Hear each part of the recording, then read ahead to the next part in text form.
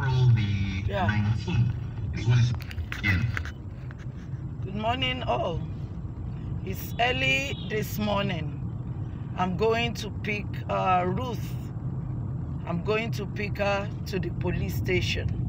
Yeah, because uh, she already made it clear that she cannot stay with us, that she's not happy staying with us.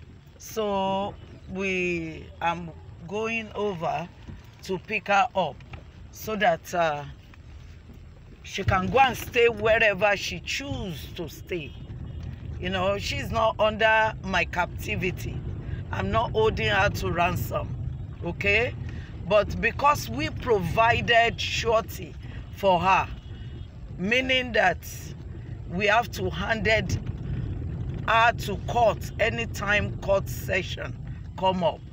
But since she's no longer going to stay in where we provided, the organization provided for her, she made it clear that she doesn't want to stay, that she's uh, possibly, some people are using her, I don't know.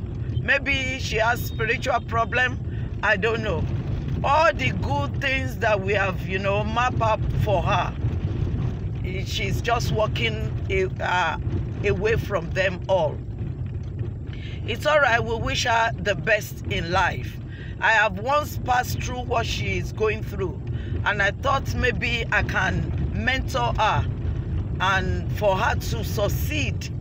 Yeah, what we have spent has been so much traveling here and there, going to 2 million naira. Thank you for some people, few people that supported.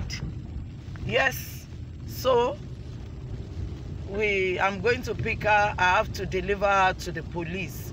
And I will call her father to come and take care of her. I've already called the brother, Joshua, to come and pick her children because I cannot pay uh, air flight for the children from here to Delta or to Benin. So that's how it is. I keep you updated. Yesterday I was called in a meeting uh, between uh, Maureen, no, no, sorry, I beg your pardon, between uh, Chioma, Dr. Chidi, and uh, Ruth. So she has made her choice. Thank you. God bless you. God bless Bisola Johnson Foundation.